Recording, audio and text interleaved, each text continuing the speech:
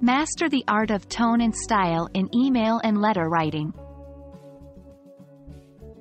Hello, English language enthusiasts.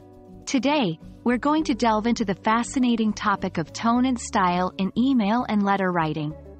We will talk about their importance and how you can master these to enhance your written communication skills. So, buckle up and get ready to become an expert in shaping the tone and style of your emails and letters.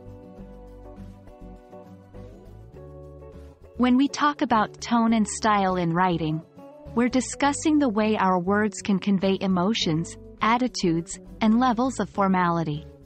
Tone is the attitude your writing exhibits towards the subject or the reader, while style is how you express yourself through your writing. This can include your choice of words, sentence structure, and even punctuation. Tone and style give your writing personality and influence how your message is perceived by the reader. Tone and style are vital in any form of written communication, but they're especially important in email and letter writing. They can mean the difference between your message being well received or completely misunderstood.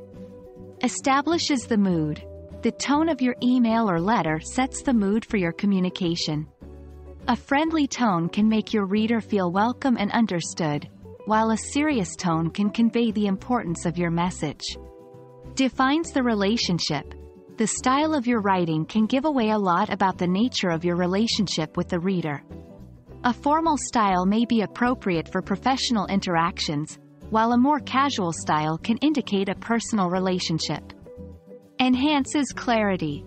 By paying attention to tone and style, you can ensure your message is clear and cannot be misconstrued. For example, a polite, respectful tone can help prevent your criticism from sounding too harsh.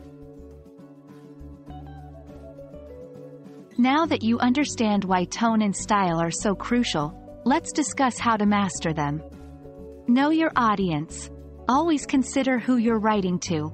Use a more formal tone for professional correspondence and a casual tone for personal interactions. Consider the context, the purpose of your email or letter should guide your tone. A complaint will require a firm yet respectful tone, while a thank you note will likely be warm and appreciative. Be mindful of your word choices. Words carry emotional weight. Choosing words carefully can help set the right tone and style for your email or letter.